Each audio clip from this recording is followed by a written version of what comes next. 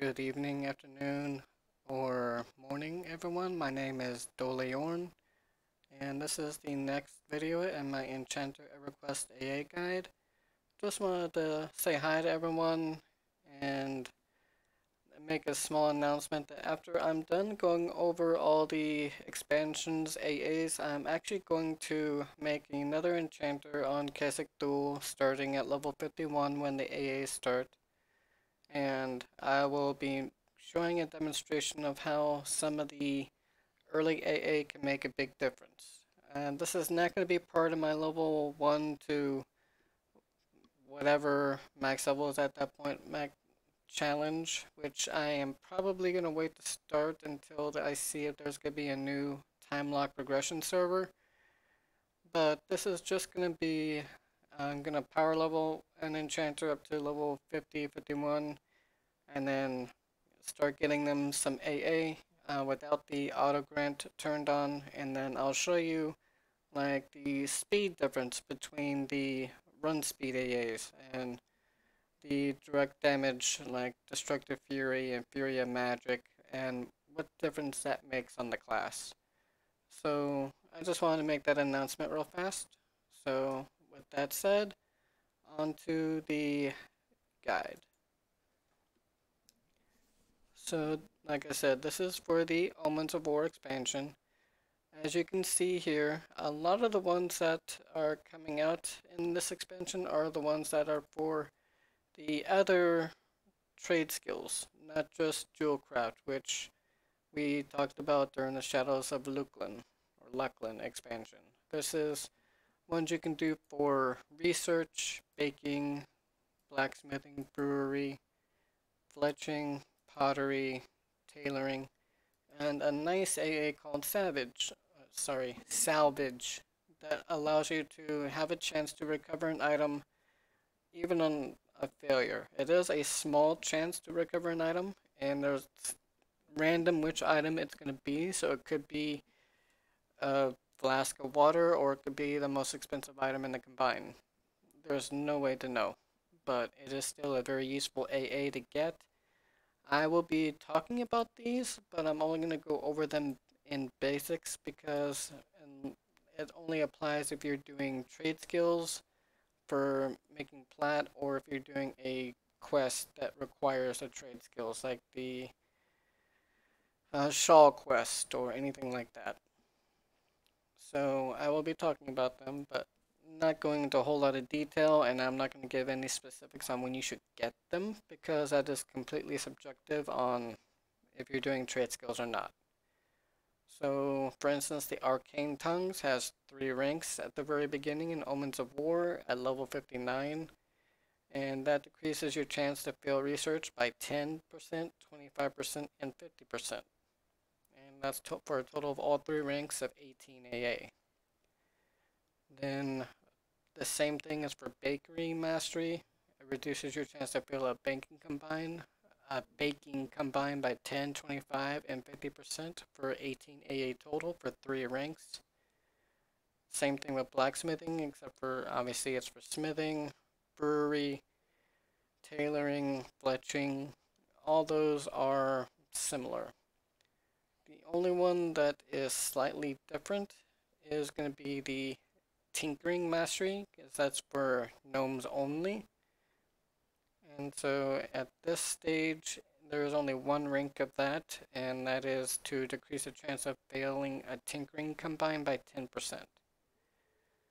So now that that's over with, there is, next one is going to be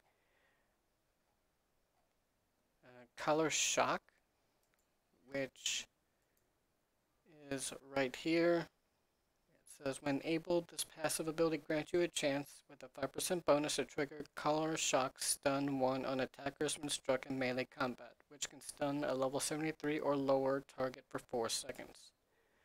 Basically, it just allows, it gives it a chance to where you have a chance to get a off or a stun or a mez off. It buys you a little bit of time for 4 seconds. So that is definitely an important AA. It is not the first one I would recommend getting, but I will go into that in a little bit. there are five more ranks of combat agility and combat stability, which I recommend getting. Those are 5 AA apiece. The first rank increases your chance to avoid melee attacks by 26%, up to 32% at the last rank of Omens of War Combat Agility. And then Combat Stability increases your AC soft cap, which negates a little bit of the damage you take when you are hit. And that goes at 27% at the first rank in Omens of War, up to 35% at the last rank of Omens of War. So then there's also Companion Suspension. It basically allows you to suspend your pet. Uh, doesn't save the pet if you die or zone, but if you're in the zone, it allows you to basically have two pets kind of at the same time where you can have a pet summoned, get it buffs, and mage toy weapons, and then you suspend it and cast another pet do the same thing. That way when the first one dies, you all you have to do is hit the suspend pet again and it will bring the first pet back out. So again, it's nice. It allows your pets to receive group buffs, so if you're using your summoned pet in raids, it will get all the buffs that the regular players get. Like the druid buffs, cleric buffs, paladin buffs, all the buffs. Also in this expansion, we're introduced to the delayed death AA. It gives you a passive ability to basically stay alive a little bit longer. and gives you some extra hit points when you're knocked unconscious before you technically die. So there are five ranks in Omens of War. They are 3 AA each rank, and each one increases your negative HP by 50 points. So the first rank will get you to negative 50 before you die, and then the last rank in Omens of War will bring you to negative 250 before you die. Then there's three ranks of Destructive Fury. Increases the critical nuke damage by 107% at the first Omens of War rank. That is 3 AA. Then the second rank, which is 6 AA at 68, increases your critical nuke damage by 115%. And the one at 70 for 9 AA increases your critical nuke damage by 125% at base damage. Then there are five ranks of Discordant Defiance, which I can read here for you. It raises the maximum that your cold, disease, fire, magic, and poison resistances can be increased to with items and spells by 5 points. If you're a raider, this is a pretty good AA. Again, not the first AA I would get, but it definitely is a good AA to help increase your chances of resisting spells by the raid mobs. Then there's also going to be five ranks of Expansive Mind that came out in Omens of War and increases the maximum that your mana regeneration can be raised with items by one point. And that is one point per rank. There are five ranks at 5 AA each, starting at level 66. So at level 70, after you spend 25 AA for the five ranks, you increase your mana regen cap by 5. And then there's going to be another rank of innate lung capacity. Again, you can get this if you're uh, basically out of spending AA on anything useful, but it is definitely not a top priority. For one thing, a lot of gear starting around this area has Faerun on the helmet, and Faerun gives you automatic ultra vision, see invis, and also water breathing. So there's also going to be five ranks of innate regeneration. Starting at level 66 to 70, increases your current HP by an extra one per tick. And when I say per tick, that's every six seconds. So and that's 3 AA per rank. So that will bring it to 15 AA. And that will bring you from, basically allow you to increase your HP regen up to 10 per tick at level 70. There are three more ranks of Mastery of the Past, uh, starting at 67, 68, and 69. Each of them are 5 AA a rank. Allows you to not fizzle when you cast a spell at level 62, 64, or 66. Again, useful but not top of the list, but definitely useful. Next is Mind Over Matter. It is three ranks, and that allows you to absorb 50% of incoming damage with your mana rather than your health for up to 10 hits for 15 minutes. And is required to have Eldritch Rune at level 3 before you can train in this. So basically, if you know you're going to be hit and hit hard, you could hit this and basically half of the damage will be taken out of your mana until you either the mob stops hitting you or casting spells at you or the tank uh, gets aggro whatever comes first or if you're able to run away but if you know that you will have a chance to regen the mana back or have a chance to use gather mana this is a nice way to just stay alive and also gives you a chance to basically rune yourself and rune tank for a little bit. Just keep in mind that that will generate aggro. The next one is Mnemonic Retention. And this is going to be the one I actually suggest you start with first because it gives you an extra spell on your spell gem bar to where instead of 8 spells you can have 9 memmed. So that's at level 55 and that is 3 AA, and that is a game changer. So that is the first AA that you need to get. And it doesn't matter if it's even what class. Any class can cast spells and can get this needs to get this one first. Then there's Mystical Attuning. There's five ranks of that. And basically what that lets you do is increases the number of mystical effects that can affect you at once by one. So with five ranks, that basically lets you have five more buffs on you than you can have right now. Because right now there is a buff cap up to this point, and even at TOV where I'm at on my raid enchanter, I think the buff limit is around 45 to 50 buffs before you get buff locked, somewhere around there. Like I haven't spent the time to count, but that's basically what it is. And then there's Noctambulate. It is a activated ability, and when activated mesmerizes a level 73 or lower target for one minute. So basically this is like an emergency mez. So if you just get a ton of resist on your normal mez for some reason, even with Tash, you can use this to buy a minute for you to get control, for group to kill the other mobs, whatever. But this is an emergency mez that you can use.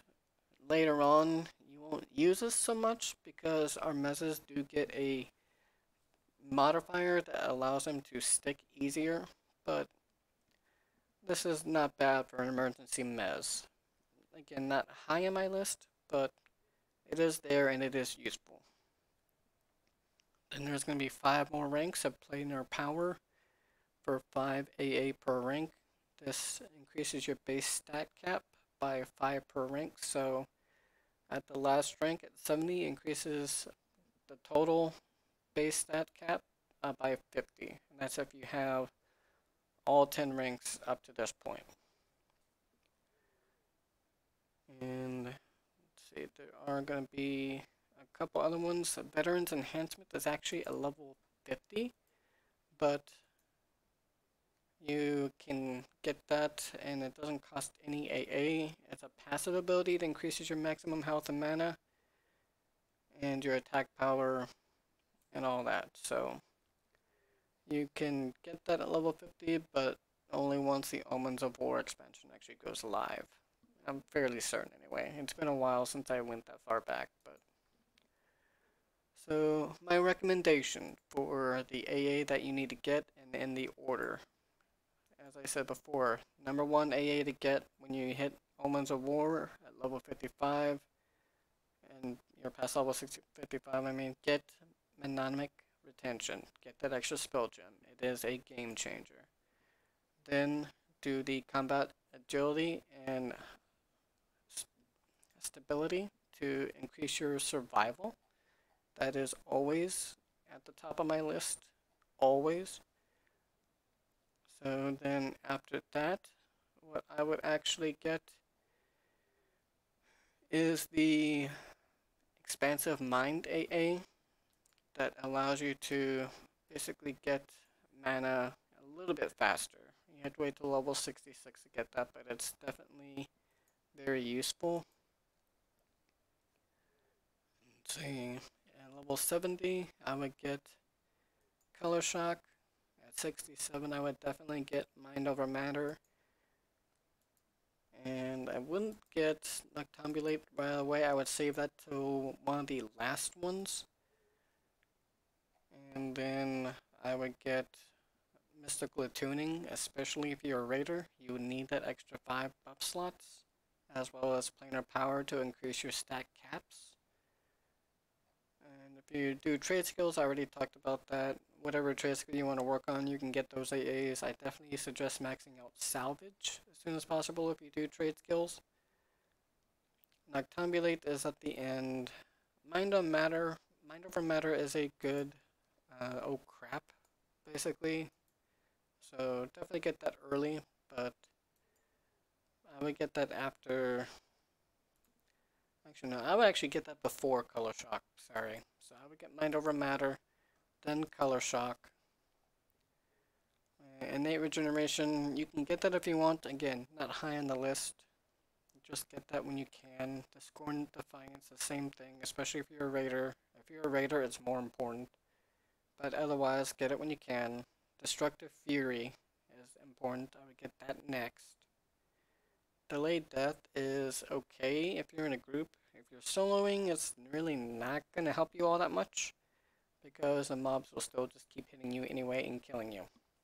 But if you're in a group, it is nice. I've had it save my Enchanter and my Shadow Knight on quite a few occasions.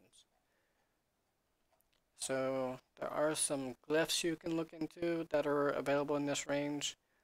I'm not going to talk about those too much. You can look those up yourself. And also you can get the trials of Mata Muram. Basically you have to pass all six trials. So that's definitely something nice. It helps you get your resist up. So and that is my video today. I hope it was informative and if you like the content and want to see more, I will do streaming on Sundays, Mondays, uh, right now Tuesdays until we beat the TOB expansion even though a lot of the raids haven't come out yet. And possibly one other day during the week, which I will be updating my schedule on my Twitch page, which I will link down below if you want, feel free to like and subscribe and don't forget to hit the notification bell to see when I upload my next one. I hope you all have a great time in EverQuest and Norrath and I'll see you then.